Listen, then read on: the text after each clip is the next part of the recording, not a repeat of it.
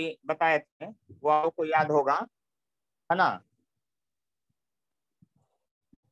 तो देखिए सबसे पहले बात है तो हम लोग आज थोड़ा पहले कुछ क्वेश्चन पूछ लेते हैं है ना? आ, कौन बताएँगे सबसे पहले? चलिए हैप्पी राज बताएँ। सबसे पहले ये बताइए आप फ़ेज़ डिफरेंस और पाथ डिफरेंस में क्या रिलेशन है? फ़ेज़ डिफरेंस और पाथ डिफरेंस में क्या रिलेशन है? Pi by two pi into x by lambda. सही है? सही है। चलिए। माइक ऑफ़ कर लीजिए। राजेश सिंह से जो ज्वाइंट है वो बताएँगे। राजेश सिंह से जो ज्वाइंट है वो बताएँगे। रिजल्टिंग इंटेंस रिजल्टिंग इंटेंसिटी का फॉर्मूला बोलिए। बोलिए रिजल्टिंग बोलिए जल्दी से। Pi by two pi equal to x by lambda क्या बोल रहे रिजल्टिंग इंटेंसिटी आई का इक्वेशन बोलना आई बराबर क्या होता है equation root under I I one plus root under I two आप अच्छा से याद नहीं किए हैं, अगला दिन थोड़ा सब याद होना चाहिए आपका। बिना फॉर्मूला का काम नहीं चलता है माइक ऑफ़ अपना। चलिए देखिए, अभी आगे थोड़ा देख लेते हैं, उसके बाद फिर बात करेंगे आगे, है ना? तो बात को हम लोग पढ़ रहे हैं इंटरफ्रेंस ऑफ़ वेव आज पढ़ना है। क्या पढ़ना है?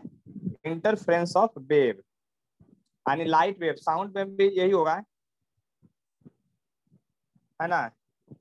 Interference of wave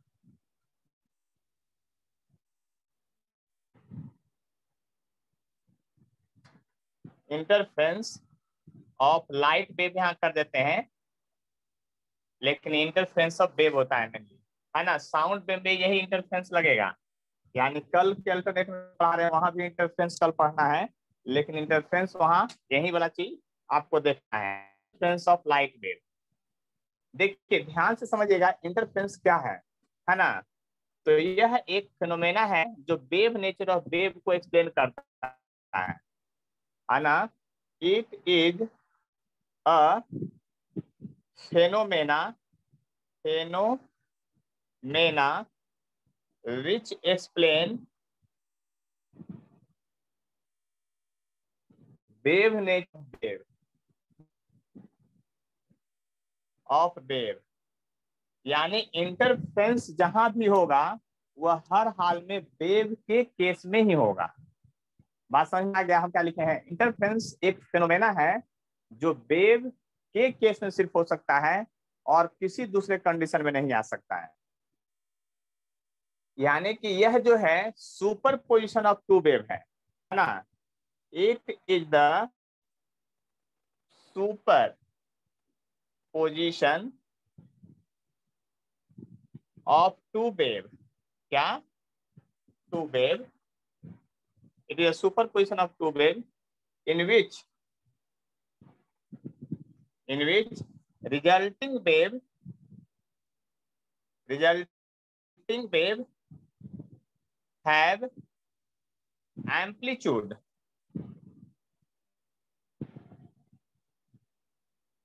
amplitude less equal or greater greater than क्या superimposed wave imposed wave super impose wave. देखिए हम क्या लिखे हैं ध्यान से समझिएगा, अच्छी तरह से समझने की कोशिश कीजिएगा, हम क्या कहना चाह रहे हैं। यानी कि दो वेव को जब सुपर इम्पोज करेंगे ना तो एम्पलीट्यूड जो होगा आपका लेस हो सकता है इक्वल भी हो सकता है और ग्रेटर हो सकता है। क्यों?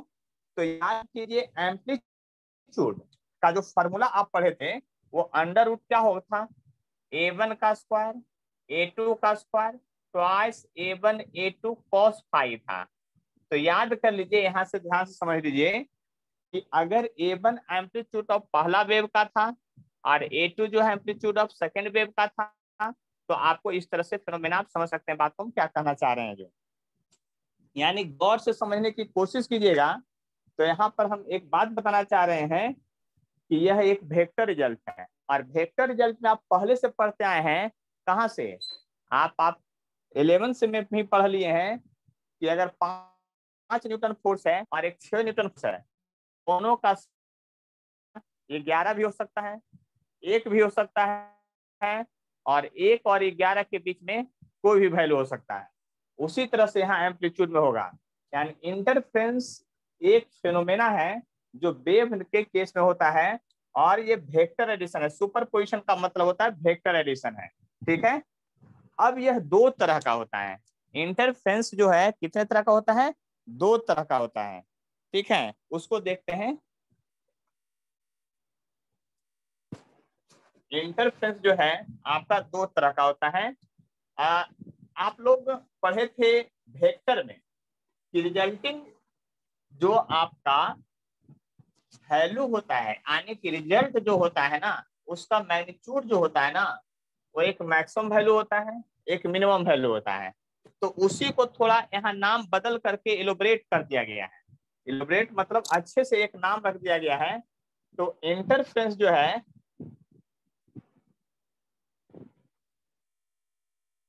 इंटरफ्रेंस जो है दो तरह का होता है। एक इंटरफ्रेंस का नाम रख दिया गया कंस्ट्रक्टिव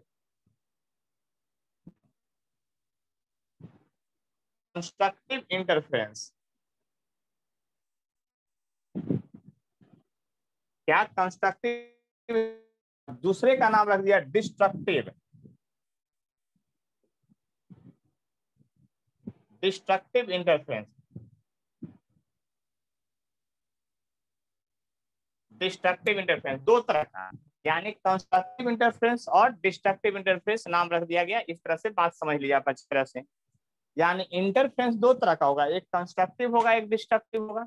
तो कंस्ट्रक्टिव वर्ड ही का मतलब समझते हैं, बनाने वाला, और डिस्ट्रक्टिव मतलब बर्बाद करने वाला। डिस्ट्रक्टिव नेचर कंस्ट्रक्टिव नेचर होगा इंटरफ्रेंस में। तो डिस्ट्रक्टिव नेचर में क्या होगा? सीधा सा आप समझ लीजिए लाइट है तो ब्राइट और डार्क यहाँ देखिए। सब वेक्टर है, इसीलिए वेक्टर इलेवंथ में पढ़ना बहुत ज़रूरी होता है। बिना वेक्टर के काम नहीं चलेगा इधर। आप याद कीजिए वेक्टर में आर मैक्स निकालते थे हम लोग मैक्सिमम रिज़ल्ट निकालते थे।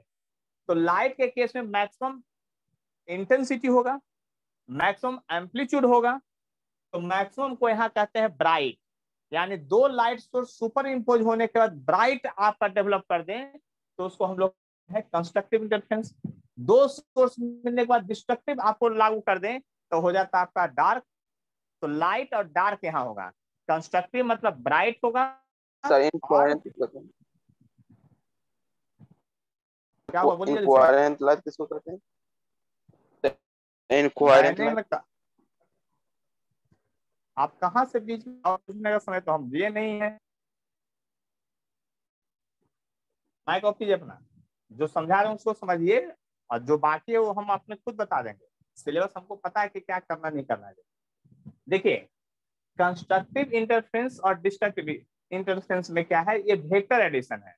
यानी वेक्टर एडिशन है, इसका मतलब आप मैक्सिमम की बात करेंगे ना तो मैक्सिमम की बात करेंगे तो इसको ब्राइट फ्रिंज कहते हैं। फ्रिंज मतलब होता है पट्टी, और उसको कहते हैं डार्क है ना? यानी कि रिजल्टिंग इंटेंसिटी इसमें जो होगा मैक्सिमम होगा। यानी पहला पॉइंट लिखेंगे तो आप लिख सकते हैं resulting intensity intensity is maximum और मैक्सिमम इंटेंसिटी को एक टर्म होता है ब्राइट फ्रिंज लिखा जाता है। यहाँ पर ब्राइट फ्रिंज जो कि आगे एक्सपेरिमेंट में हम फिर से यूज़ करेंगे सब टर्म को। और यहाँ रिजल्टिंग इंटेंसिटी जो होगा, क्या होगा? मिनिमम होगा। Resulting intensity intensity is minimum minimum इसको डार्क फ्रिंज कहते हैं। क्या कहते हैं? डार्क फ्रिंज कहते हैं। इस बात को ध्यान दीजिएगा। अब आगे जो है ना कंस्ट्रक्टिव वर्ड हम कभी नहीं बोलेंगे। ये बोलने में थोड़ा लंबा लगता है तो डार्क और ब्राइट की बात करेंगे। डार्क फ्रिंज ब्राइट तो डार्क मतलब कंस्ट्रक्टिव और सॉरी डार्क मतलब डिस्ट्रक्टिव और ब्राइट मतलब कंस्ट्रक्टिव एक बात आप समझिए रिजल्टिंग इंटेंसिटी को मैक्सिमम करना है। तो आई इंटेंसिटी का फॉर्मूला पढ़ चुके थे। तो आप डायरेक्टली लिख सकते हैं कि कॉस फाई का जो वैल्यू होगा, वह वन के बराबर होगा। और इसमें डायरेक्टली लिख सकते हैं कि कॉस फाई का वैल्यू जो होगा माइनस वन के बराबर होगा। देख लीजिए ध्यान से। यानी कंस्ट्रक्टिव इंटरफेरेंस और डिस्ट्रक्टिव इंटरफेरेंस की जो हम बात कर रहे हैं, उसकी बात हम समझ सकते हैं। तो यहाँ पर अगर गौर से समझने की कोशिश करते हैं हम लोग तो देखिए क्या होगा आखिर। यहाँ पर बात समझने की आप कोशिश कीजिए कि आखिर यहाँ पर क्या होगा। देख लीजिए, बात को समझ लीजिए। तो फाई बराबर जो यहाँ पर होगा, आपका एन पाई होगा। क्या होगा?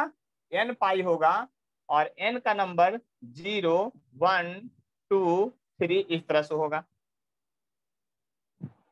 तब ये हो गया, ये फ़ेज़ डिफरेंस का फॉर्मूला हो गया। समझ गए ना? सॉरी एन टू पाई होगा यहाँ पर। एन टू पाई ठीक है? क्या होगा आपका? एन टू पाई होगा। एन टू पाई होगा और ये कंस्ट्रक्टिव इंटरफेरेंस के लिए होगा। एन टू पाई हो गया, ये यानी कि ये पाथ फ़ेज़ डिफरेंस हो, ये क्या हो गया आपका? फ़ेज़ डिफरेंस हो गया। क्या हो गया? डिफरेंस जो होना चाहिए कंस्ट्रक्टिव इंटरफेरेंस के लिए आपका क्या होना चाहिए हर हाल में? देख लीजिए फ़ेज़ डिफरेंस आपका हर हाल में एन टू पाई होना चाहिए। देख लीजिए, हर हाल में क्या होना चाहिए आपका? एन टू पाई होना चाहिए। इस बात को समझ लीजिए अच्छी तरह से। उसी तरह से पाथ डिफरेंस की बात कीजिए। तो पाथ डिफरेंस का फॉर्मूला क्या होता है? तो पाथ डिफरेंस का, देखिए x by lambda equal to five by two pi पढ़े थे। तो लेमडा सीधा के मल्टीप्लाई हो जाएगा। एक्स बाई लेमडा था, अब फाइव बाई टू पाई था। तो डिवाइड होके उधर चला गया। देख लीजिए बात को ध्यान से अच्छी तरह से। अब बात को समझने की कोशिश कीजिए, हम क्या कहना चाह रहे हैं। अब अगर हम इस फाइव का वैल्यू वहाँ पुट कर देते हैं तो एक्स बराबर आ जाएगा एन लेमडा और एन बराबर होगा वही ज़ीरो, वन, टू, ये सब सारा टर्म देखिए ध्यान से। पाथ डिफरेंस हो गया। क्या हो गया? पाथ डिफरेंस हो गया। पाथ डिफरेंस हो गया। देख लिए ध्यान से। पाथ डिफरेंस हो गया। इस बात को समझ लीजिए अच्छी तरह से। हम क्या कहना चाह रहे हैं? उसी तरह से यहाँ पर जब आप लिखेंगे फाइव बराबर तब क्या होगा? फाइव बराबर आप लिखेंगे टू एन प्लस वन, और पाई बाई टू लिखेंगे। और ये जो वैल्यू हो गया आपका, क्या? एन बराबर ज़ीरो, वन, टू, ये सब पुट करेंगे। तो देखिए।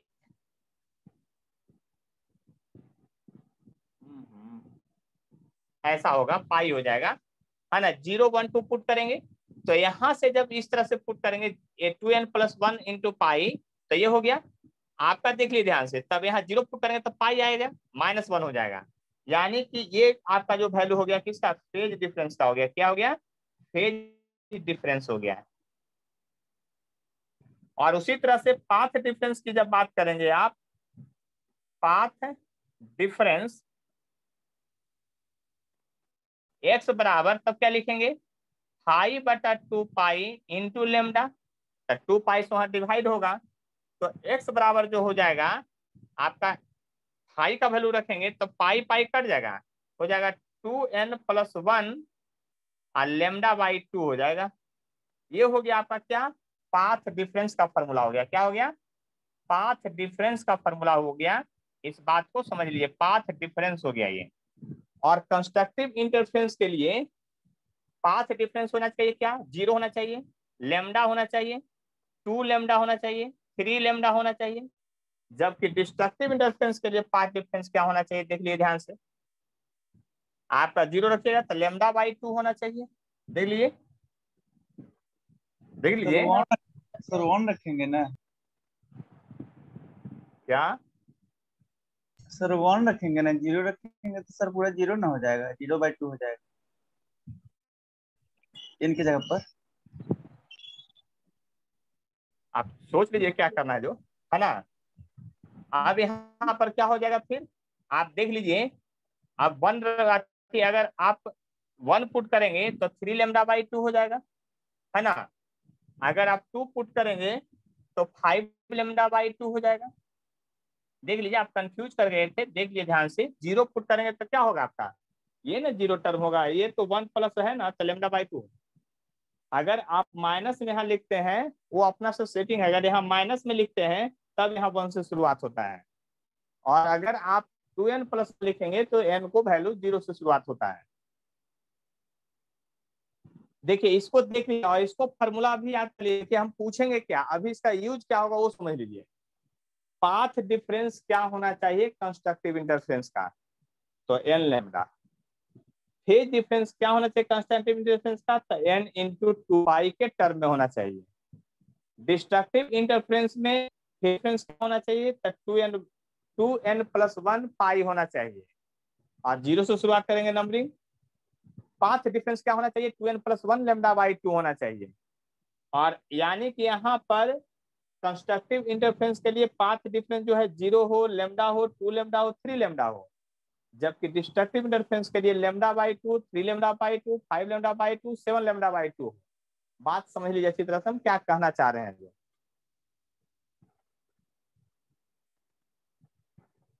देख लीजिए, बात को समझ लीजिए अच्छी तरह से।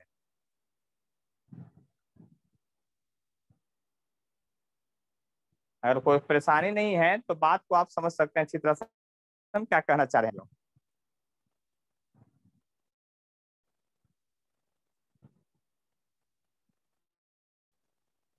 चलिए अब आगे बढ़ते हैं। ये था इंटरफेरेंस कंस्ट्रक्टिव और डिस्ट्रक्टिव इंटरफेरेंस था, है ना? आप लोग समझ भी चुके होंगे फार्मूला भी लर्न कर लेना, अभी का अभी तुरंत, क्योंकि तुरंत अभी इसका एक्सपेरिमेंट में यूज़ होगा कि कंस्ट्रक्टिव इंटरफेरेंस और डिस्ट्रक्टिव इंटरफेरेंस में क्या डिफरेंस है, क्या फार्मूला है इन सभी चीज़ों का।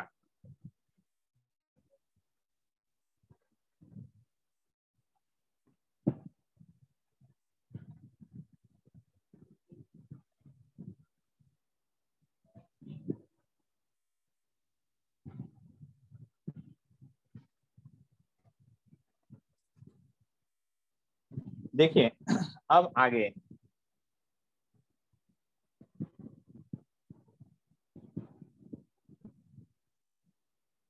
Incoherent source of light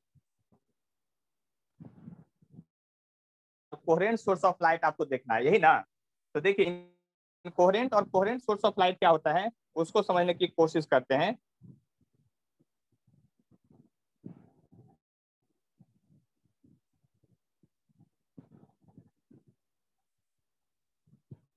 देखिए, हम सिंपल सा बात समझ लेते हैं इन कोहरेंट और कोहरेंट में क्या रिलेशन है, उसको समझने की कोशिश करते हैं। तो देखिए coherent and incoherent source coherent and incoherent source क्या होता है? अब समझिएगा ध्यान से। देखिए, बात को समझने कीजिएगा कि इनकोहरेंट और कोहरेंट सोर्स क्या होता है। तो कहा जाता है कि नेचर में कभी भी कोहरेंट सोर्स अपने से डेवलप नहीं हो सकता है। यानी नेचुरली जो है कोहरेंट सोर्स नहीं पाया जाएगा। कोहरेंट सोर्स का मतलब होता क्या है? पहले वो समझ लीजिए। कोहरेंट सोर्स का मतलब ये हुआ कि अगर कोई सोर्स है, जैसे लाइट ये सोर्स एस वन है ये सोर्स एस टू है। तो किसी पॉइंट पर जब ये बेब इसका पहुँचे और इसका बेब इस तरह से फैलते हुए पहुँचे तो अगर समय के साथ साथ इसका फ़ेज़ डिफरेंस अगर सेम रह जाए तो कोहरेंट सोर्स कहेंगे और अगर बदल जाए तो इन कोहरेंट सोर्स कहेंगे। लेकिन एक बात समझ लीजिए, दो सोर्स का यहाँ कंपेरिजन होता है। ऐसा नहीं कि एक सोर्स का, अकेला सोर्स में कोहरेंट और इनकोहरेंट नहीं होगा, यहाँ हर हाल में दो सोर्स होगा। तो दो सोर्स दो सोर्स का कंपेरिजन होता है, अकेला कोई सोर्स यहाँ नहीं हो सकता है। दो सोर्स का कंपेरिजन है कोहरेंट और इनकोहरेंट है ना? तो कोहरेंट और इनकोहरेंट में क्या डिफरेंस है उसको समझ लीजिए। कोहरेंट सोर्स का मतलब ये हुआ कि दो सोर्स जो है ना दोनों के बीच का जो फ़ेज़ डिफरेंस है, वो हमेशा कांस्टेंट होना चाहिए, यानी सेम होना चाहिए, नहीं बदलना चाहिए। तब हम लोग उस सोर्स को कोहरेंट सोर्स कहते हैं, और इनकोहरेंट में अगर बदल जाए तो इनकोहरेंट हो गया। अब सचिन कुमार बोलिए, क्या दिक्कत है आपको? कोहरेंट बोल रहे थे। जो रहता है, वही उसको पढ़ा जाता है। और मैंने कहा कि कोहरेंट और इनकोहरेंट जो है, आप इनकोहरेंट सोर्स सिर्फ़ डेवलप होता है नेचर में। कोहरेंट तो कभी हो ही नहीं सकता है। कैसे सर कैसे कर सकते हैं तो मैं बताता हूँ, ध्यान से सुनिएगा। आप दो बल्ब ले लिए हैं, लाइट का। हम लाइट पर समझते हैं, दो बल्ब ले लिए हैं लाइट का, है ना? ऐसे दो बल्ब ले लिए लाइट का, दो बल्ब है लाइट का, सोर्स है। ये लाइट सोर्स कैसे देता है, ये बात समझिए पहले। इलेक्ट्रॉन एक्साइटेड होता है, ये हायर ऑर्डर में जाता है, फिर जम करके लोअर में आता है तो एनर्जी रिलीज़ करता है। तो आप बताइए, कितना भी आप जल्दबाजी में क्यों नहीं? दोनों को एक ही स्विच से क्यों नहीं कनेक्ट कर दिए? तो भी इसके हर एक इलेक्ट्रॉन को आप एक साथ एक्साइटेड नहीं कर सकते हैं। याद कीजिए बात को हम क्या कहना चाह रहे हैं? आप कुछ भी कीजिए, दोनों बल्ब के हर एक इलेक्ट्रॉन को एक साथ आप एक्साइटेड नहीं कर सकते हैं। कहिए, सर, कहाँ यहाँ पर एरर आ रहा है? वो बताइए। आप 220 वोल्ट दोनों में दिए हैं 220 वोल्ट दोनों दिए हैं। लेकिन आप बताइए, क्या करंट का अमाउंट दोनों में सेम होगा? अगर सेम बात है तो भी नहीं होगा। क्योंकि कंस्ट्रक्शन के समय एक ही कंपनी बल्ब बनाता है। दोनों बल्ब का, लेकिन पावर में जो है ना एरर रहता है। और वो लिखता है कि पाँच परसेंट एरर हो सकता है। वो एकदम क्लियरली लिखता है कि एरर इसमें है। क्योंकि जब फिलामेंट का कटिंग हो रहा था, मशीन में बन रहा होगा, उसमें कुछ ना कुछ तो एरर ज़रूर रहा होगा। यानी कहने का मेरा मतलब और है, ध्यान से समझिएगा। देखिए, एक सिंपल हम आपको एग्जांपल देते हैं, ठीक है? रियल लाइफ से जुड़ा हुआ एग्जांपल आप समझिए। मिल्क का पैकेट, दूध का पैकेट सभी लोग खरीदते हैं, ठीक है? आप क्या कीजिए, ध्यान से सुनिएगा, मेरी बात को समझने की कोशिश कीजिएगा। एक एक के जी वाला मिल्क का पैकेट लीजिए। पाँच दुकान से, लेकिन पाँचों दुकान अलग अलग रीजन में होना चाहिए। एक रीजन में नहीं तो देखिएगा, पाँचों पैकेट में दूध का अमाउंट कुछ ना कुछ पाँच दस ग्राम का अलग अलग है। कही सर, ऐसा क्यों होता है? तो कंपनी में जहाँ दूध पैक किया जाता है ना, वहाँ प्रेशर के साथ होता है। मान लिया जाए कि पहले अमाउंट ऑफ़ मिल्क बहुत ज़्यादा है, और ये आपको लीटर नाप के नहीं देता है, इस सेकंड पर है कि एक सेकंड खुलेगा तो एक लीटर दूध निकल गया, वो पैकेट में यहाँ पैक हो गया। तो जिस समय प्रेशर है ज़्यादा, उस समय ज़्यादा मिल्क निकलेगा बाहर। जैसे जैसे उसमें प्रेशर घटेगा, कम निकलेगा, क्योंकि टाइम पर डिपेंड है। इसीलिए पैकेट में देखिएगा, कुछ पैकेट में ज़्यादा दूध आपको निकलेगा, कुछ में कम निकलेगा, क्योंकि जब इंस्ट्रूमेंट से वर्क हो रहा है तो कुछ ना कुछ तो एरर रहेगा आपको। उसी तरह से बल्ब में भी है। अब दूसरी बात समझिए, उसके बाद आप कुछ भी कर लीजिए, यानी कि दो सोर्स को एक साथ एक्साइटेड नहीं कर सकते हैं। आप कुछ भी प्रैक्टिस कर लिए, कितना भी प्रैक्टिस कर लीजिए, दोनों एक साथ गाना नहीं गा सकते हैं। दो आदमी घर में प्रैक्टिस कर लीजिए कुछ भी, शुरुआत करना हो, कुछ भी कर सकते हैं, कुछ ना कुछ टाइम इंटरवल होगा। और यहाँ टाइम इंटरवल अगर आपको नैनो सेकंड का भी है तो यहाँ फ़ेज़ बदल जाएगा लाइट में। क्योंकि समझ रहे ना स्पीड ऑफ़ लाइट इसका कितना फास्ट होता है। इसीलिए आप सेम सोर्स कभी डेवलप नहीं कर सकते हैं, यानी कोहरेंट सोर्स कभी डेवलप नहीं कर सकते हैं। जैसे एक बात और बताते हैं, वेव का ही बात चल रहा है तो एक बात और बताते हैं, ध्यान सुन लीजिएगा। एक बड़ा सा टब ले लीजिए, पानी उसमें स्टोर कर दीजिए। क्या कर दीजिए पानी स्टोर कीजिए, पानी उसमें जमा कर दीजिए क्या करना है? पानी जमा कर देना है। और उस पानी जब जमा हो जाए, उसको शांत होने दीजिए, जल को शांत होने दीजिए, एकदम पूरा शांत हो जाने दीजिए। उसके बाद एक पेन ऐसे लेकर के पानी में ऊपर नीचे कीजिए। क्या होगा? बोलिए जल्दी से। क्या होगा? आपका वह हर हाल में, हर हाल में जो आप ऊपर नीचे करेंगे तो उससे एक वेव क्रिएट होगा। क्रिएट होगा कि नहीं? आप ही बताइए ध्यान से। जब वेव क्रिएट होगा अब देखिए, आप दो पेन ले लीजिए। आ दो अलग अलग आदमी। पेन को एक ही साथ ऊपर नीचे कोशिश कीजिए ले जाने लाने का। लेकिन ये संभव ही नहीं है कि आप एक साथ उसको ऊपर नीचे ले जाइएगा। कुछ ना कुछ आगे पीछे वो हो ही जाएगा हर हाल में। अब आगे पीछे होगा तो फ़ेज़ कांस्टेंट रहेगा।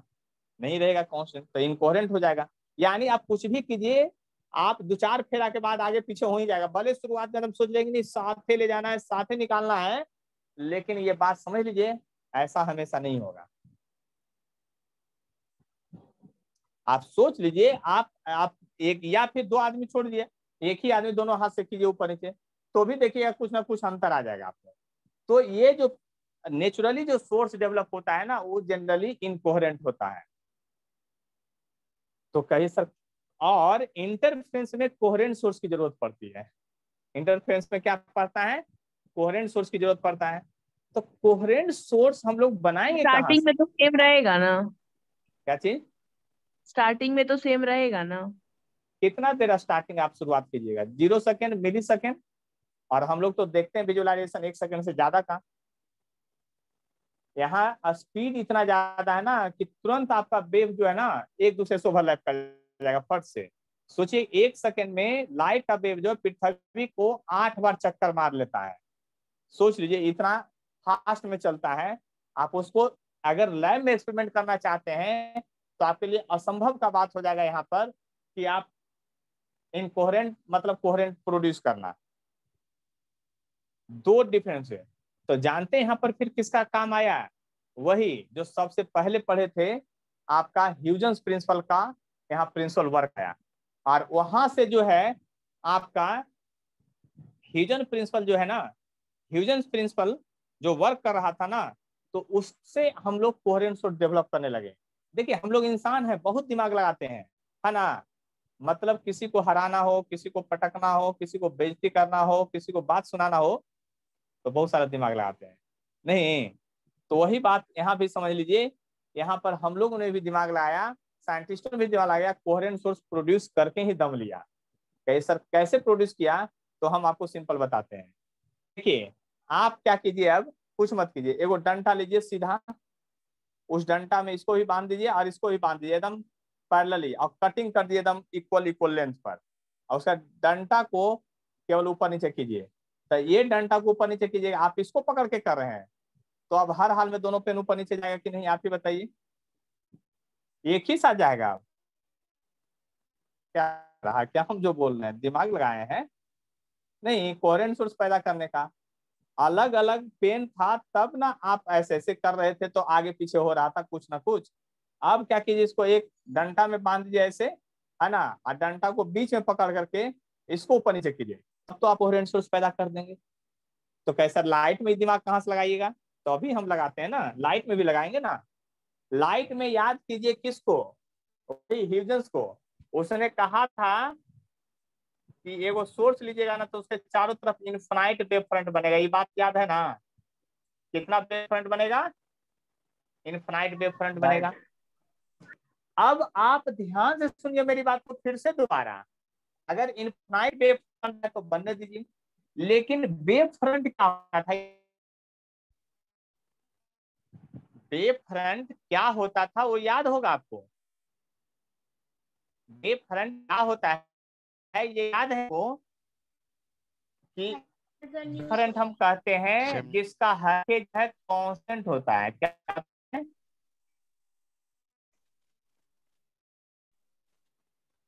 फ़ेज़ कांस्टेंट होता है हर एक कांस्टेंट होता है इस बात को समझ लीजिए अच्छी तरह से। हर एक फ़ेज़ कांस्टेंट होता है। यानी कि वेव फ्रंट का मतलब ही था वेव फ्रंट का मतलब ही क्या था ये बताइए। वेव फ्रंट का मतलब था कि कांस्टेंट फ़ेज़ में जो ऑसिलेट करेगा पार्टिकल सेम फ़ेज़ में जो ऑसिलेट करेगा उसी को वेव फ्रंट कहते हैं। याद कीजिए definition collection of particle which oscillate in same phase is known as wave front बात डिफिनीशन समझ में आ गया आप लोग को? वेव फ्रंट का। याद कीजिए पीछे। डिफिनेशन समझ आ गया वेव फ्रंट का? क्या? कांस्टेंट फ़ेज़ वह पार्टिकल का समूह जो सेम फ़ेज़ में ऑसिलेट करे उसको हम वेव फ्रंट कहते हैं। और तब ह्यूजन ने एक बात और कहा था इसका हर एक सोर्स के जैसा बिहेव करता है। दो पॉइंट याद आया कि नहीं आपको? एक पॉइंट तो ये याद आया कि कांस्टेंट फ़ेज़ होता है पूरे वेब फ्रंट का और उसका हर एक पॉइंट एक नया सोर्स कर चलिए, क्या पूछ रहे थे आप? बोलिए आप लोग। देखिए, हमने कहा दो पॉइंट याद करना है। क्या क्या एक पॉइंट ये कि किसी भी सोर्स का जो वेव फ्रंट होता है ना वेव फ्रंट होता है कांस्टेंट फ़ेज़ ऑफ़ ऑसिलेशन होते हैं। और अब आप बताइए कि यहाँ पर जो दो सोर्स है, जो अलग अलग सोर्स बनेगा, वो क्या होगा आपका? तो कोहरेंट सोर्स होगा। तो आपका वेव फ्रंट का जो हर एक पॉइंट होगा वो कोहरेंट सोर्स होगा। इस बात को समझिए अच्छी तरह से। उसी को हम लोग कोहरेंट सोर्स कहते हैं। यानी कोहरेंट सोर्स आप डायरेक्ट नेचर से नहीं हम लोग बना सकते हैं। ये बात समझ में आ गया होगा?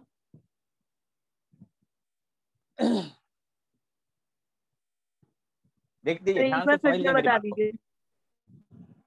क्या चीज़? कोहरेंट सोर्स और इनकोहरेंट सोर्स क्या होता है उसको? ये सर अभी जो बताया ये वेव फ्रंट वाला। चलिए तो हम बता देते हैं, फिर से सुन लीजिए एक बार बात।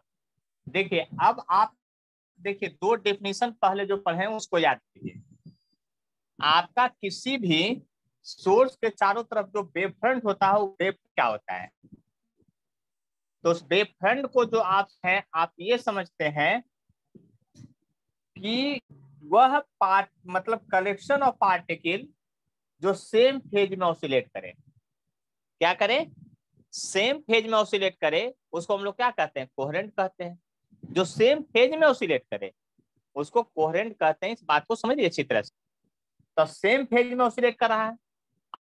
आप पॉइंट को कीजिए कि वेव फ्रंट का हर एक पॉइंट एक नया सोर्स के जैसा बिहेव करता है। यानी एक वेव फ्रंट पर लाखों सोर्स होते हैं। तो यह सोर्स और यह सोर्स सेम फ़ेज़ में है कि अलग अलग फ़ेज़ में है? अब आप बताइए। तो सेम फ़ेज़ सोच लीजिए। तो सेम फ़ेज़ में आ गया तो इसको हम लोग कोहरेंट सोर्स कहेंगे कि इनकोहरेंट सोर्स कहेंगे? ये बात आप समझ लीजिए अब फिर से। कोहेरेंट सोर्स तो चलिए इसका डेफिनेशन लिख लेते हैं हम लोग, है ना? क्या लिख लेते हैं इसका? डेफिनेशन लिख लेते हैं। ठीक है तो डेफिनेशन बहुत सिंपल है, उसको लिख लेते हैं पहले। कोहेरेंट सोर्स किसको कहते हैं? इनकोहेरेंट सोर्स किसको कहते हैं?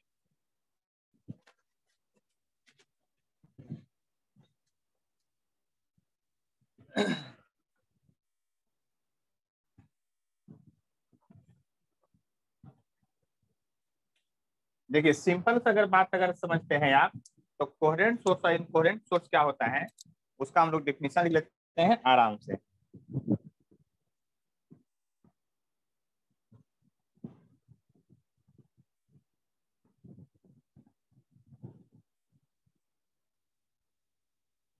देखिए source of light source of light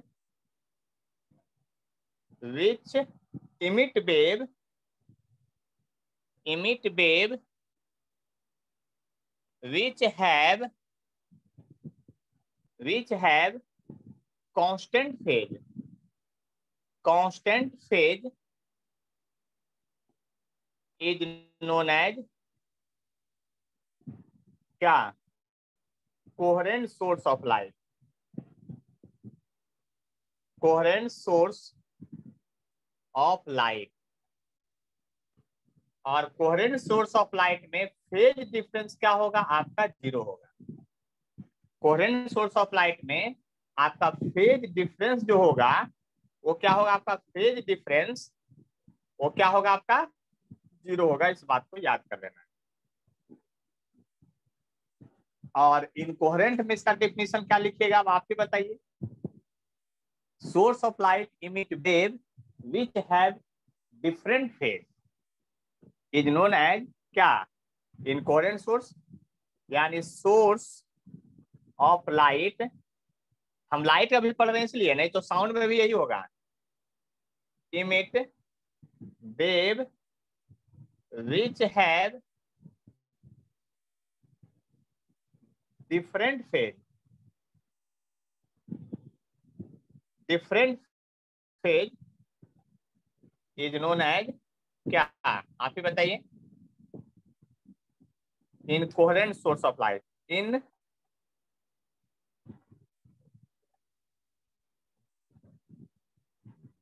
incoherent source of light incoherent source of light देख लिए ध्यान से। और कोई प्रॉब्लम है तो बोलिए हमको।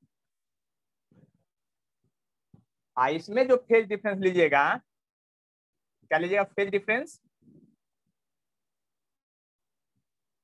हाई वो एक सौ अस्सी डिग्री ले लीजिएगा। कितना लीजिएगा? एक सौ अस्सी डिग्री। और कोई प्रॉब्लम है तो बताइए अब। ध्यान से समझ लीजिए बात को अच्छी तरह से। किन्हीं को कोई कष्ट है तो ज़रूर बोलिए, तुरंत हम आपका सोल्यूशन करने के लिए तैयार हैं।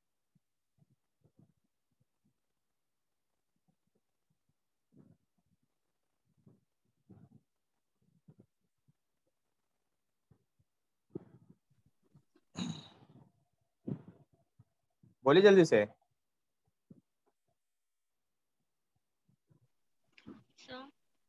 हाँ बोलिए।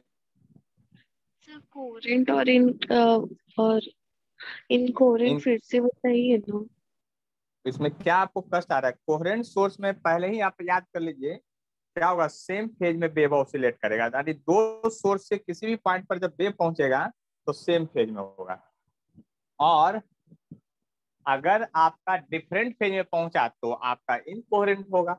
हम तो पहले ही बता दिए कि अब आप समझ लीजिए कि अगर ये सोर्स है तो दो सोर्स एक साथ कभी ऑसिलेट नहीं कर सकता है। तो यह दोनों सोर्स हमेशा इनकोहरेंट होगा।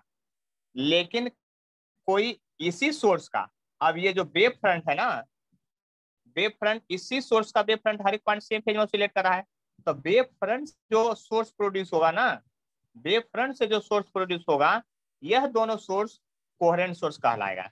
जबकि ये दोनों अलग अलग सोर्स था तो इनकोहरेंट था।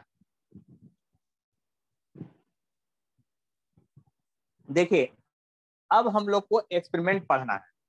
यंग्स डबल स्लिट एक्सपेरिमेंट ये लास्ट टॉपिक है इंटरफ्रेंस का। यानी सुपर पोजिशन ऑफ़ वेव का यहाँ पर जो है, ये लास्ट टॉपिक है। तो हम लोग देखते हैं आगे। और लिखते हैं यंग्स डबल स्लिट एक्सपेरिमेंट। पूरा नाम है यंग्स, साइंटिस्ट का नाम है यंग्स, है ना? तो यंग्स डबल स्लिट एक्सपेरिमेंट की बात करेंगे हाँ जिनको अब दोबारा समझना होगा, वीडियो को रिप्ले करके पीछे से आप समझ सकते हैं कि कोहेरेंट और इनकोहेरेंट क्या होता है है ना? तो बात को समझने की कोशिश करते हैं यहाँ पर ध्यान से। Young's double slit experiment. Heading है यंग्स। डबल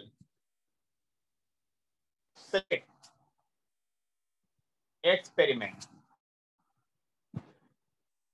देखिए, एक बात बोलते हैं कंपटीशन में भी इतना लंबा टर्म नहीं लिखता है।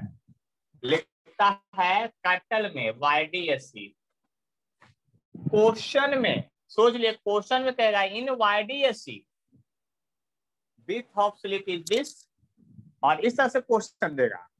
यानी कि इसका शॉर्ट फॉर्म ज़्यादा प्रचलित है। लेकिन ये है यंग्स डबल स्लिट एक्सपेरिमेंट यानी वाई एस जिसको कहते हैं हम simply Young's double slit experiment अब डबल स्लिट क्यों बनाया गया था, उसका रीजन समझिए। डबल स्लिट की बात क्या क्या किया गया था, वो समझ लीजिए।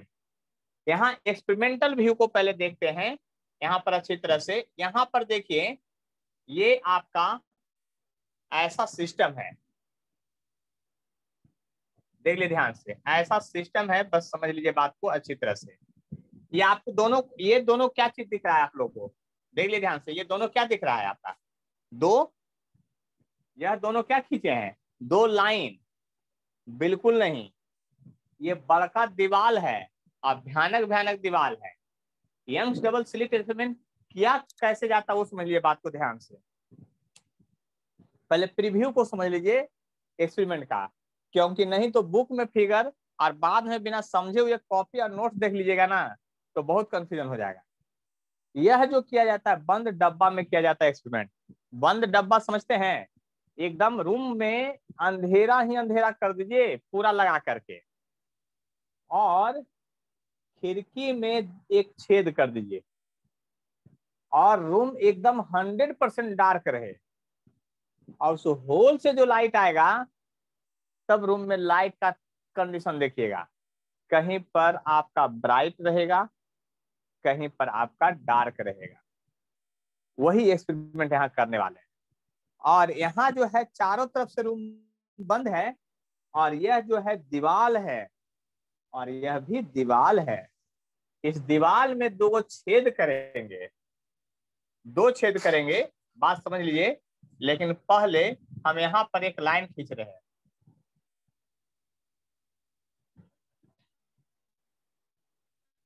अब ये जो लाइन खींचे है ना, जितना ऊपर इसमें होल करेंगे करके, उतना ही नीचे भी नाप जो करके होल करना है। मतलब दोनों जगह होल जो है सेम डिस्टेंस पर हो। ये होल है। इसको कहते हैं स्लिट स्लिट का मतलब होल होता है, इसको एस वन कहते हैं और इसको एस टू कहते हैं स्लिट कहते हैं इसको। क्या कहते हैं? S one S two slit है ये। अब बात समझिएगा अच्छी तरह से। ये S one S two slit है, यही सोर्स का काम करेगा। और यही कोहरेंट सोर्स का काम करेगा। कहिए, कैसे कोहरेंट सोर्स का काम करेगा सर? तो हम ना बताते हैं। यहाँ गौर से देखिए ना, हम कोहरेंट सोर्स कैसे बना देते हैं? ये कोहरेंट सोर्स को बनाना है इसको दोनों को?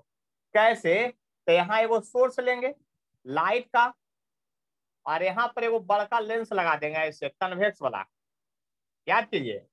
और ये फोकस हो जाएगा इसका। सोर्स हम ऊपर लिखते हैं और फोकस नीचे इसके ये फोकस पर इसको बैठा दिए। कहाँ बैठा दिए? फोकस पर और ये सोर्स है। अब इस फोकस से जब लाइट टकराएगा ऐसे ऐसे ऐसे ऐसे ऐसे तो यहाँ से कैसे निकलेगा? पैरेलल बीम ऑफ़ लाइट बन के निकलेगा। कैसे निकलेगा? प्लेन वेव फ्रंट बन के निकलेगा। कैसा wave front plane wave front ध्यान से सुनते चलिएगा।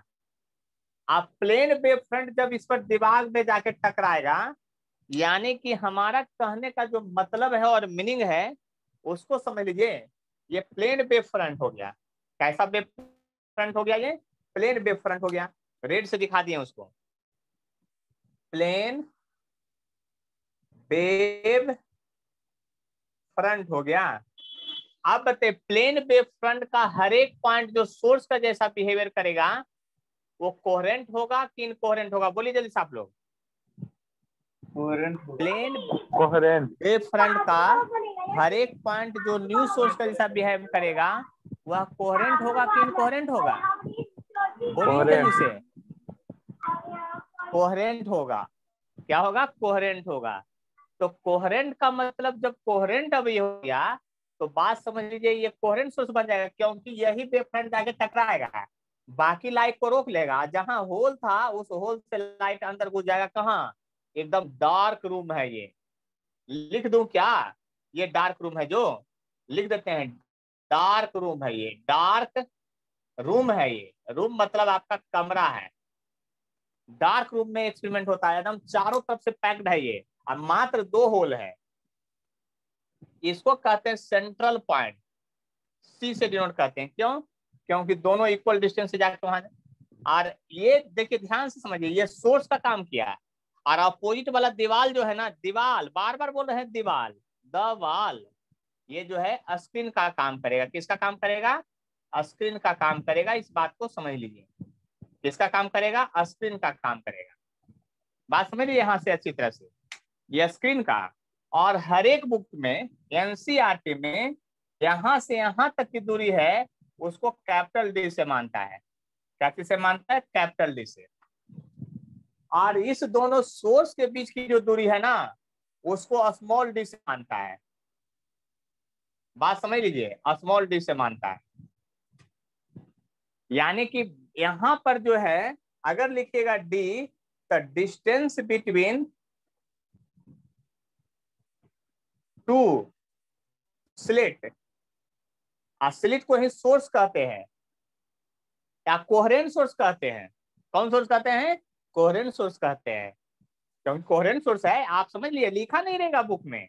आपको खुद समझ लेना है, क्योंकि आप समझदार अब हो चुके हैं। आए बात समझ में, क्या हो चुके हैं? समझदार हो चुके हैं। तो डिस्टेंस बिटवीन टू स्लिट और सोर्स की बात करेंगे। ठीक है? कोई प्रॉब्लम है तो बोलिए। तो डिस्टेंस बिटवीन टू स्लिट और सोर्स की बात करेंगे। और कैपिटल डी जो होगा, वह है distance between distance between slit and screen होगा। और एक बात बताइए, ध्यान से सुनिएगा मेरी बात को। पूछते हैं। यह जो सोर्स ऑफ़ लाइट है ना, यहाँ से वेवलेंथ जो निकल रहा है कोई भी सोर्स है, उसका वेवलेंथ निकलेगा। हम बोल रहे हैं, हमारे मुँह से भी वेवलेंथ निकल रहा है। तो अब वेवलेंथ लेमडा था।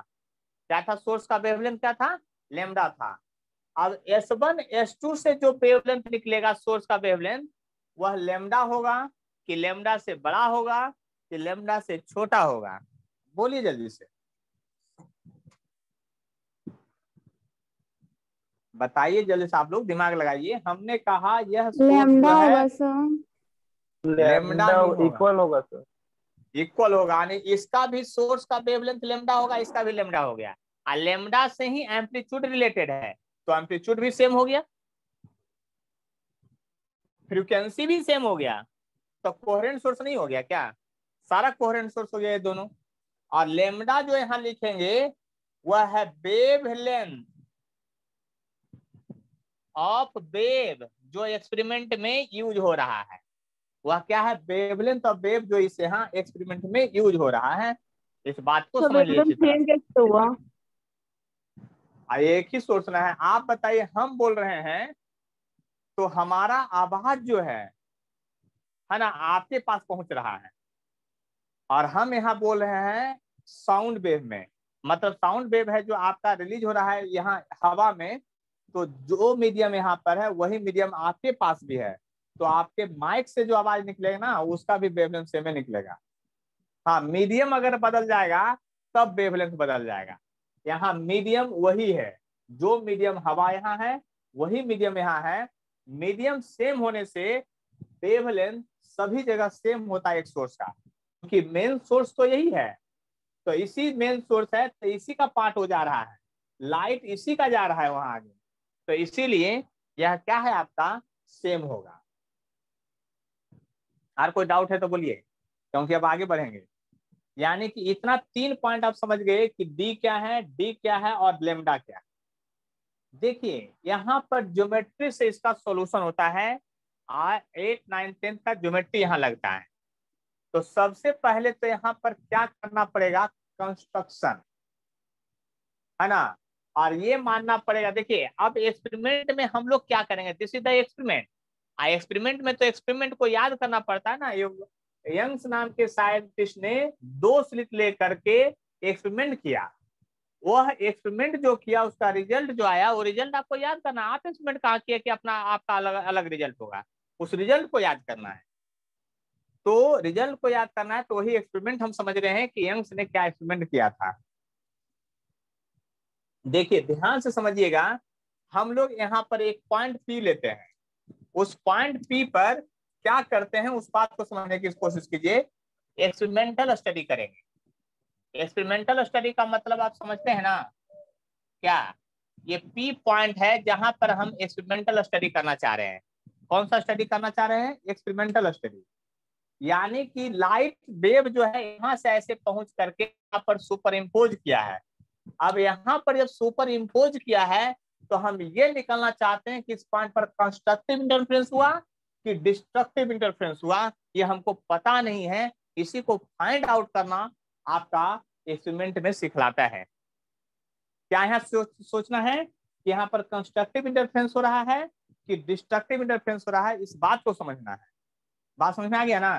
कंस्ट्रक्टिव और डिस्ट्रक्टिव की बात करना यहाँ पर, यहाँ से पॉइंट वहाँ गया बस दो वेव है, दोनों से। देखिए, हम यहाँ स्ट्रेट लाइन से काम चला रहे हैं। बुक में क्या करता है ना, कि वेव जो फैलता है ना, उसको यहाँ से वेव फ्रंट के रूप में दिखाता है। ऐसे दिखाएगा डॉटेड लाइन ऐसे ऐसे। है ना? वेव चारों तरफ़ फैल रहा है, यहाँ से भी डॉटेड लाइन ऐसे दिखा देगा। लेकिन हम वैसे नहीं दिखाएँगे, क्योंकि स्ट्रेट लाइन से, क्योंकि कहीं ना कहीं जाके वेव तो स्ट्रेट ही लगभग ट्रेवल करता है ना। इसलिए वो दिखा रहे हैं, ये ऐसे डॉटेड लाइन ले जाता है, वो फिगर आपको बहुत पेचीदा होता है। तो सीधा सीधा समझिए कि यहाँ पर गया है तो यहाँ सुपर इम्पोज किया है तो इस पोजीशन पर वेव फ्रंट के जो पोजीशन हम लोग पढ़ रहे हैं, इस पोजीशन पर डार्क बना कि ब्राइट बना? कंस्ट्रक्टिव हुआ कि डिस्ट्रक्टिव हुआ? ये निकालना है। तो यहाँ से ये मानना पड़ेगा कि बाई जो है position of point P from central point C से है। अब बाई पोजिशन भी हमको पता करना पड़ेगा कि क्या है। तो यहाँ पर ये लिखना पड़ेगा यहाँ से बाई जो है position of point P of point P where B study position of point P position of point P from central point C. Where B study? B study interference phenomena.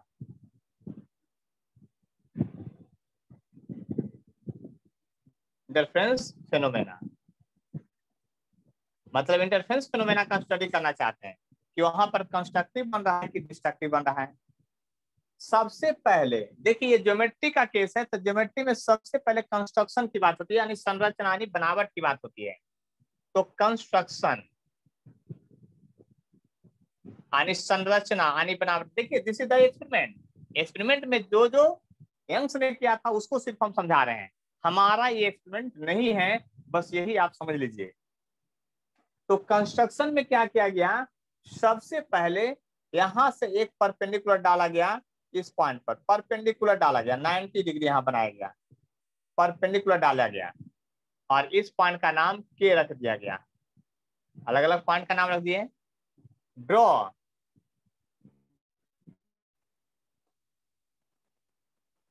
S one के perpendicular on S two P यानी सबसे पहले हमको ये draw किया गया कि S one के परपेंडिकुलर है एस टू पी पर। लाइन पर। And here D is very very greater than a small D यहाँ पर एक्सपेरिमेंट में ये कंडीशन लगाया गया कि ये डी जो होगा ना, इसके रिस्पेक्ट में बहुत बड़ा होगा। हज़ार गुना, दस हज़ार गुना, लाख गुना, दस लाख गुना। गजब बात आप लोग कर रहे हैं। सर ये तो आप बड़ा उतना दूर तो दिखाए नहीं। ये डी है, एक बित्ता और ये भी एक बित्ता थोड़ा सा कम है। तो आप तो इक्वल इक्वल डिस्टेंस पे दिखा दिए। हम इक्वल इक्वल पर इसलिए दिखाए कि आपको पिक्चर क्लियर से बने डायग्राम क्लियर बने, इसलिए दिखाए हैं। नहीं तो आप खुद सोचिए कि अगर आप इसके केस में बनाइएगा ऐसा डायग्राम और ये ऐसा था आपका और यहाँ पर स्लिट यहाँ है, स्लिट यहाँ है। एकदम जस्ट सटा हुआ है दोनों स्लिट। यानी दोनों स्लिट जस्ट वहीं पर सटा हुआ और यहाँ पर ले जाइएगा तो दोनों लाइन ओवरलैप पे होके चला जाएगा। तो आप डायग्राम क्या दिखा पाइएगा? लेकिन रियल में ये डी जो बहुत बड़ा होता है, और क्वेश्चन जब दिया रहेगा ना आपको बुक में, या एग्ज़ाम में आएगा ना तो इस डी का डिस्टेंस देगा मिलीमीटर में। दो मिलीमीटर एक मिलीमीटर ऐसे देगा, और ये डी देगा मीटर में। तो मीटर और मिलीमीटर में कितना का डिफरेंस है? एक हज़ार गुना का डिफरेंस है। एक हज़ार गुना का डिफरेंस है, बस इतनी सोच लीजिए। कम से कम एक हज़ार का अंतर तो रहेगा ही। तो एक हज़ार का अंतर रहेगा, बस इतना समझ लीजिए। तो जरा गौर से समझिएगा। यहाँ पर जो होगा, देखिए अब गौर से समझिएगा। अब यहाँ पर कुछ एंगल को इधर उधर फेर करें, दोबारा नहीं समझाएँगे एंगल को। इसलिए एंगल समझिएगा ध्यान से। क्या है? एक लाइन जो है ना, यहाँ से हम बीच डॉटेड लाइन ये वाला लाइन खींचे डॉटेड लाइन देख लीजिए बीचों बीच इसको खींचते हुए चले गए हैं, यहाँ पर, देख लीजिए ध्यान से। अब गौर समझिएगा अच्छी तरह से। ये एंगल थीटा है तो ये, देखिए ध्यान से समझिएगा। ये एंगल जो है आपका, ये एंगल यानी ये डॉटेड लाइन गया, और ये एंगल गया, वो एंगल को मैंने थीटा मान लिया। तो ये भी एंगल थीटा होगा। क्या इस बात से आप सहमत हैं? पहले ये बताइए। दोनों एंगल थीटा होगा। क्या इस बात से आप सहमत हैं? और नहीं है तो हम सहमत करवाएँगे। देखिए कैसे। अभी अभी हम बात बोले थे कि ये एकदम नज़दीक है ये पॉइंट मतलब नज़दीक है ऐसे लाइन है और ये नज़दीक है पॉइंट एकदम। तो एकदम जब दोनों पॉइंट नज़दीक रहेगा ना तो याद कीजिए, ध्यान से समझिएगा। तो यहाँ से लाइन खींचिए, या यहाँ से खींचिए, या यहाँ से खींचिए। तो लगभग तीनों पॉइंट एक ही जगह से गुजर रहा है, क्योंकि एक हज़ार गुना का अंतर है। इसलिए एंगल ये सेम ही होगा हर हाल में।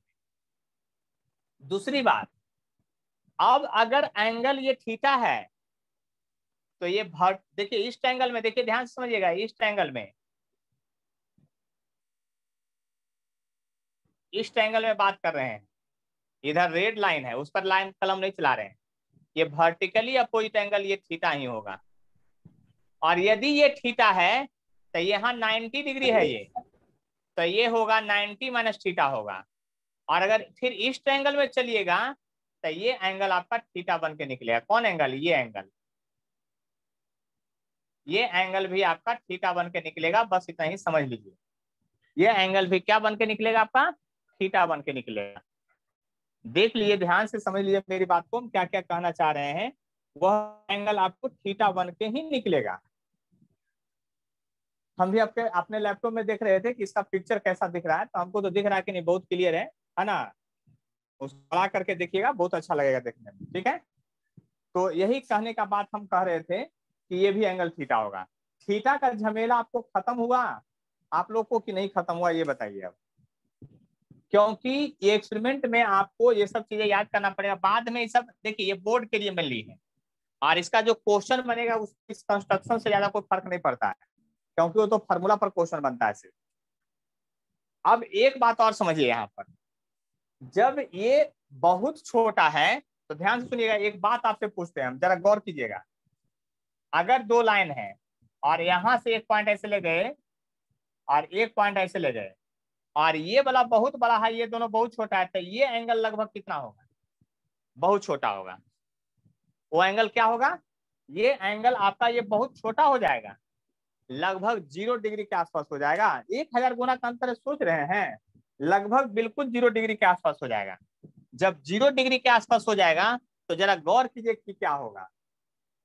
यहाँ पर जब गौर कीजिए क्या होगा, जब ये परपेंडिकुलर डालेंगे तो इस कंडीशन के बाद हम लोग ये लिखेंगे कि केपी जो होगा वो एस वन पी के बराबर होगा। क्या होगा? एस वन पी के बराबर होगा। क्यों केपी एस वन पी के बराबर हुआ? क्योंकि ये एंगल बहुत छोटा है और परपेंडिकुलर डाल दिए तो नाइनटी डिग्री और ये एक डिग्री से बहुत छोटा ज़ीरो के आसपास है। क्योंकि एक हज़ार गुना का अंतर था तो ये भी लगभग नाइनटी डिग्री तो ये आइसोस्केलस ट्रायंगल के जैसा बिहेव करेगा। हल्का फल्का अंतर होगा, लगभग बराबर होगा। इसको लगभग कर दीजिए, ये लगभग बराबर होगा। है ना? लगभग बराबर है ये। ये एकदम लगभग बराबर है, ये बात आप समझ लीजिए। ये बात इतना आपको याद करना पड़ेगा। इसके बाद आपको मैथ का काम है, क्योंकि इसमें बहुत, देखिए, ज्योमेट्री में बहुत कुछ लर्न करना पड़ता है। ये बात आप समझते हैं पहले से। नाइन टेंथ से सब ज्योमेट्री में प्रूफ जो पढ़ते आ रहे हैं उसमें यही सब नौटंकी होता था, है ना? कुछ चीज़ें याद करना पड़ता था, कुछ चीज़ें समझना पड़ता था। इसके बाद हमको कुछ नहीं करना है, सिर्फ़ हमको मैथमेटिकल एक्सप्रेशन करना है। यानी वो बात आपको मैथ के हिसाब से डायरेक्ट चलेगा। अब उसमें याद उद करने वाला अप्रोक्स लेने वाला कहानी नहीं है इसके बाद। तो देखिए, एक बात समझ लीजिए, यहाँ पर इन ट्रायंगल अगर एस वन एस टू के चलिए, इन triangle S one S two के चलिएगा। इस ट्रायंगल में चलिए। जब इस ट्रायंगल में चलिएगा तो देखिए एंगल बहुत छोटा है, इसलिए टेन थीटा और साइन थीटा और थीटा सब बराबर होगा। यहाँ सब कुछ छोटा हो गया एंगल भी बहुत छोटा हो गया, क्योंकि एक हज़ार गुना का अंतर है पहले से ही। तो साइन थीटा थीटा और टेन थीटा जब बराबर हो गया तो एक बात को समझ लीजिए, ध्यान से हम क्या कहना चाह रहे हैं। टेन थीटा होता है परपेंडिकुलर बाई अभी sine theta perpendicular by hypotenuse यानी एस टू के हो जाएगा आपका S two K by S one S two हो जाएगा। यानी एस टू के बाई आपका डी हो जाएगा। इसलिए एस टू के बराबर जो होगा डी टेन थीटा लिख सकते हैं, या डी साइन थीटा लिख सकते हैं, या डी थीटा भी लिख सकते हैं। ये बहुत ही मार्केबल पॉइंट है, इसको याद करना पड़ेगा। यानी S two K equal to D tan theta होगा, या डी साइन थीटा होगा, या डी थीटा हो जाएगा, तीनों हो सकता है। अब एक्सपेरिमेंट में जहाँ जो यूज़ होगा, वो हम लोग यूज़ कर लेंगे सीधा सीधा बात समझ लीजिए। यहाँ तक बात समझ में आया कि नहीं? क्योंकि इसके बाद हम अब मिटाने वाले हैं इधर का पार्ट तो देखिए, इधर से बात अब मिटा रहे हैं। फिगर आप लोग बनाइएगा, पहले उधर से बना लीजिएगा, है ना? यहाँ तक हम छोड़ देते हैं स्क्रीन उसमें लिखा हुआ सब मिटा देते हैं। अब इसके बाद जो है ना फार्मूला डेरिवेशन की ओर हम लोग चल रहे हैं धीरे से। तो यहाँ से ये सेलिट एक्सपेरिमेंट भी सीधा सीधा लगता है, क्योंकि डायग्राम की ज़रूरत अब हमको पड़ेगी, और उसके सिवा कुछ ज़रूरत नहीं पड़ेगा।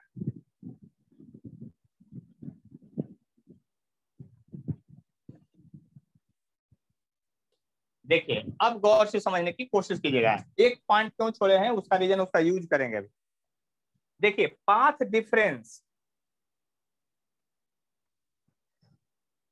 path difference.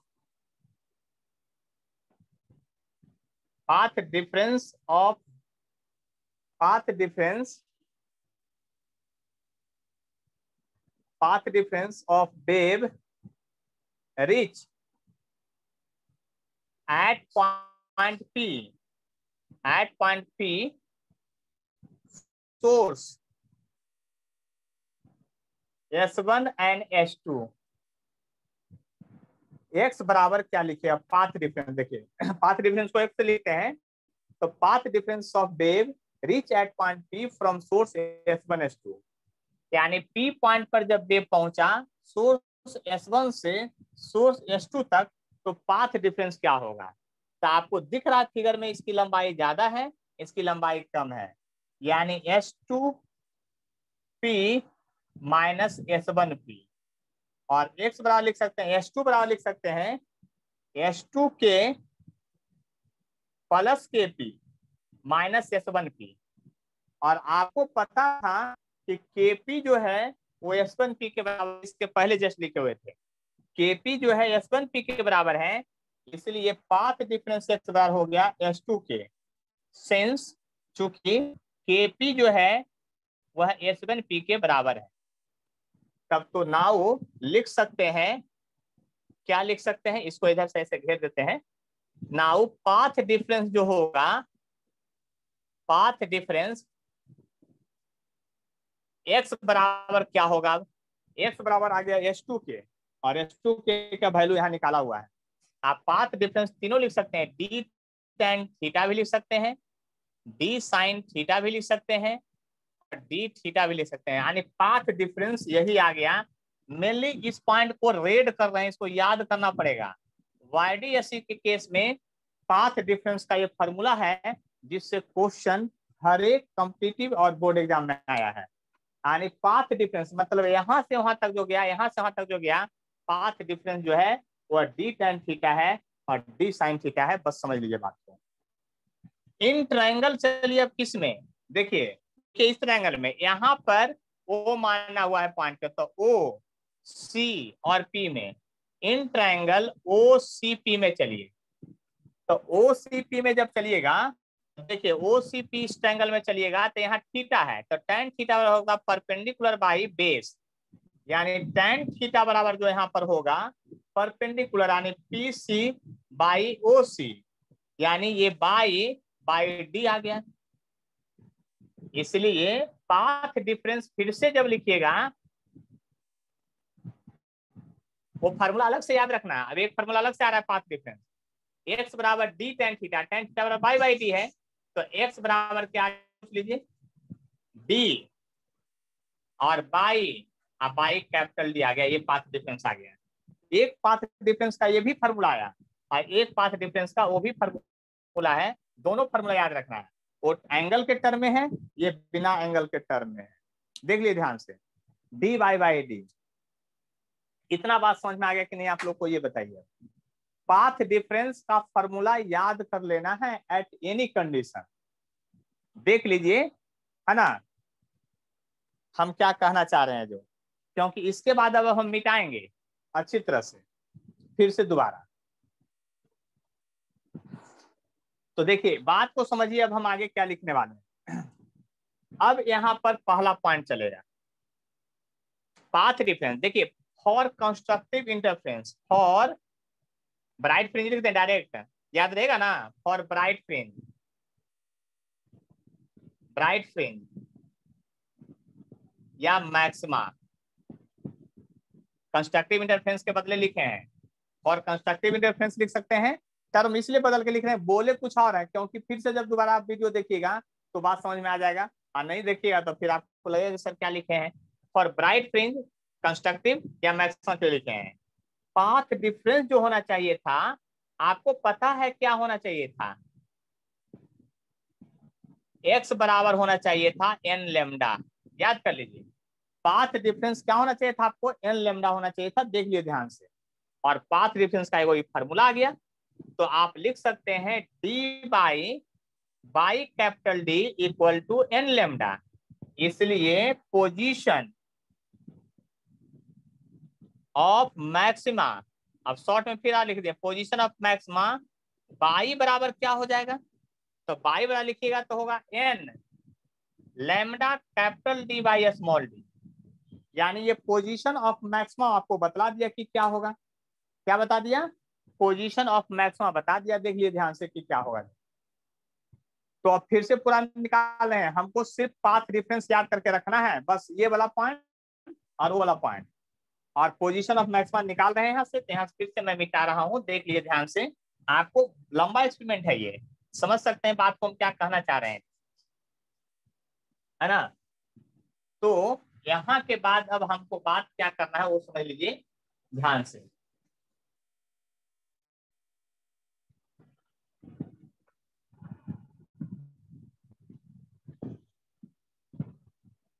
Position of maxima आपको निकल गया था। उसके बाद का बात जो पॉइंट है, अब यहाँ से लिखेंगे पोजीशन ऑफ़ मैक्सिमा से। देखिए पोजीशन ऑफ़ मैक्सिमा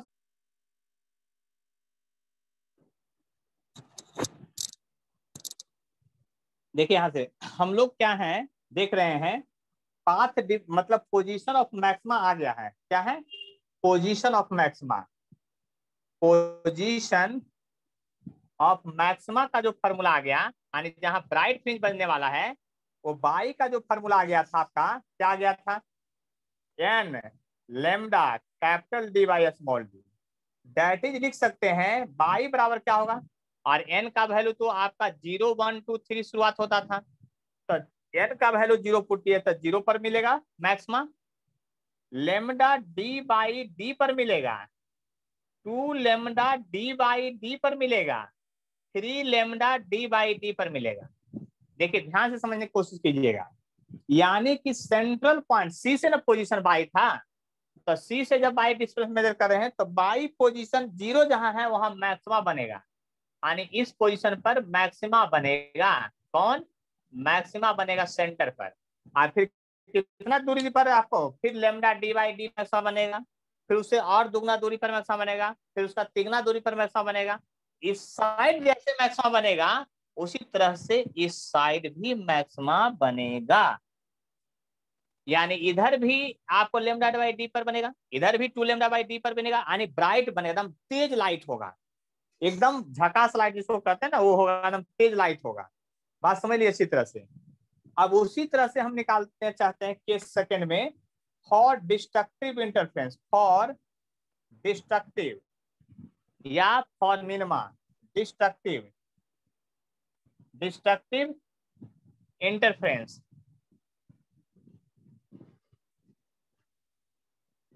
और मिनिमा के लिए क्या होगा? इधर हेडिंग हो गया, इधर से हम बना दे रहे हैं आपका सारा टर्म मिनिमा के लिए अब क्या हो जाएगा? ये बात समझ लीजिए। तो आपको पता है कि पाथ डिफरेंस जो होता है ना एक्स बराबर होता है टू एन प्लस वन और लेमडा बाई टू होता है। तो आप लिखिएगा डेट इज़ करके पाथ डिफरेंस उधर से क्या आ गया? बाई पाँच डिफरेंस क्या आ गया था? देख लीजिए ध्यान से, उधर पाँच डिफरेंस क्या आया था?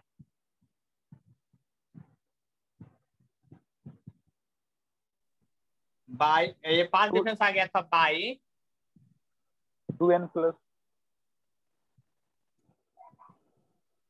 देखिए, इसके पहले आ गया था डी टेन थीटा था तो डी और बाई बाई कैपिटल डी था, ऐसा था लीजिए ध्यान से। पाथ डिफरेंस का एक फॉर्मूला आया था, याद कर लीजिए अभी, है ना? आपका पाथ डिफरेंस था, बाई बाई डी और इंटू डी और इक्वल टू जब लिखिएगा तो टू एन प्लस वन, और लेमडा बाई टू लिखिएगा। अब यह ध्यान से देखिए सबको उधर लेके चल जाइए। तो पोजीशन ऑफ़ मिनिमा जो है मिनिमा वो बाई बराबर क्या मिला? अब बाई बराबर मिला two N plus one lambda D by two D मिला। दैट इज़ बाई का पोजीशन कहाँ कहाँ होगा? ज़ीरो पुट कीजिए। तो lambda D by two D पर होगा। फिर कहाँ होगा? वन पुट कीजिए three lambda D by two D पर होगा। फिर पुट आगे। Five lambda D by two D पर होगा। देख लीजिए, वहाँ बांसुरी वाला बादक जो था यहाँ, ये सबका वैल्यू एक ही जैसा आ रहा है। एक ऑड में, एक ऑल में। तो याद कीजिए, यहाँ पर जो है, आपका जो डार्क फ्रिंज जो बन रहा है ना, वो कहाँ कहाँ बन रहा है? तो डार्क फ्रिंज जो है, हर हाल में आपको दो ब्राइट के एकदम बीचों बीच बन रहा है, याद कीजिए। क्योंकि ब्राइट देखिए ज़ीरो पर है और लेमडा डी बाई डी पर है। आप डार्क उसके एकदम बीचों बीच है। यानी दो ब्राइट के बीच में बीचों बीच डार्क होगा। फिर अगला दो ब्राइट के बीच में बीचों बीच डार्क होगा। तो आप ऐसा भी कर सकते हैं, दो डार्क के बीच में एकदम ब्राइट होगा। बात उलट पुलट के बोलिए। ऐसा में तो हम लोग माहिर हैं बदल बदल के बोलने में। नहीं दो ब्राइट के बीच में डार्क होगा तब दो डार्क के बीच में एक ब्राइट होगा, तब तो आप, आपको ध्यान से समझना पड़ेगा। दो लगातार ब्राइट फ्रिंज के बीच की दूरी, दो लगातार डार्क फ्रिंज के बीच की दूरी हर हाल में एकदम सेम ही है। हर हाल में क्या है एकदम? सेम ही है। यानी लिख सकते हैं डिस्टेंस बिटवीन टू डार्क या ब्राइट फ्रिंज इज़ क्या है? लीजिए ध्यान से। लेमडा डी बाई डी है। लेमडा डी बाई क्या है? आपका डी है। अब एक टर्म होता है फ्रिंज विथ फ्रिंज विथ है। फ्रिंज विथ को बीटा से डिनोट करते हैं। क्या जिसे डिनोट करते हैं? बीटा से। और यह क्या है? Fringe width distance between two bright या डार्क फ्रिंज को ही हम लोग फ्रिंज विथ कहते हैं। है ना? क्या कहते हैं? डिस्टेंस बिटवीन टू ब्राइट और डार्क फ्रिंज यानी डिस्टेंस बिटवीन टू ब्राइट और डार्क फ्रिंज को ही बीटा कहते हैं। फ्रिंज विथ कहते हैं। फ्रिंज का मतलब चौड़ाई। यानी बीटा का जो फॉर्मूला आ जाएगा लेमडा डी बाई डी आ जाएगा। इतना बात समझ लीजिए, अभी एक्सपेरिमेंट समाप्त नहीं हुआ है। एक्सपेरिमेंट अभी अगले क्लास में चलेगा। लेकिन फ्रिंज विथ का फॉर्मूला याद करके रखिएगा। वीडियो देख करके यहाँ तक उतार के रखिएगा। और तब अगला दिन पूछने तब फटफट बताइएगा। फ्रिंज विथ का फॉर्मूला याद करके रखना है। पोजिशन ऑफ़ मैक्सिमा कहाँ कहाँ बनेगा ये याद करके रखना है। पोजीशन ऑफ़ मिनिमा कहाँ कहाँ बनेगा, ये याद कर रखना फॉर्मूला के साथ। फिर आपका पाथ डिफरेंस का फॉर्मूला क्या क्या आया है? वो दो तरह से आया एक path difference by D by D आया था, एक पाथ डिफरेंस जो आया था आपका D tan theta D sine theta या डी थीटा आया था। अब बोलिए, अब थक गए अब हम। अब मीटिंग इंड करें। ठीक है, अब अगले क्लास में एक्सपेरिमेंट को हम लोग पूरा करेंगे, क्योंकि इतना पढ़ के रखिएगा, एक दो बार वीडियो देख के रखिएगा तो अगले क्लास में आपको कष्ट नहीं होगा, और नहीं देख रखिए तो कष्ट तो होना तय है। अब आपको कष्ट चाहिए या नहीं चाहिए, ये बात आप खुद समझ लीजिए, है ना? कष्ट नहीं चाहिए तो ज़रूर एक दो बार देख लीजिएगा, अच्छे से समझ लीजिएगा, जो नहीं समझ में आएगा, फिर हमसे पूछ लीजिएगा, हम ज़रूर बता देंगे, है ना? लेकिन समझ के रखिएगा हर हाल में एक दो बार रिप्ले करके जो बोलते हैं बात उसको ध्यान से समझिएगा बात को तो आपका काम हो जाएगा हर हाल में। तो आज का मीटिंग अब यहीं पर एंड करते हैं। अब अगले क्लास में